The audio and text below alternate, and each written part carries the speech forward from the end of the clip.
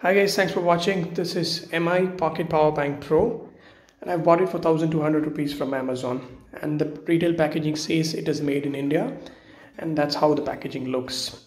So I've just unboxed it uh, just before the video so I'll just show you what are the contents inside.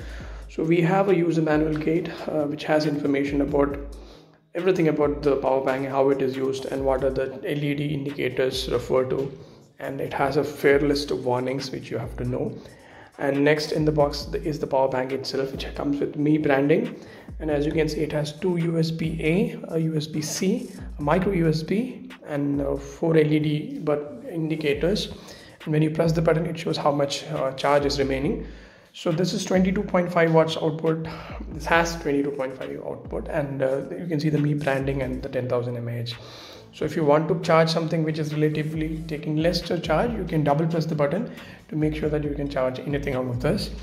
And uh, we have uh, a USB type C cable which is coming along with it. So I'll use it and I'll put you more further reviews thanks for watching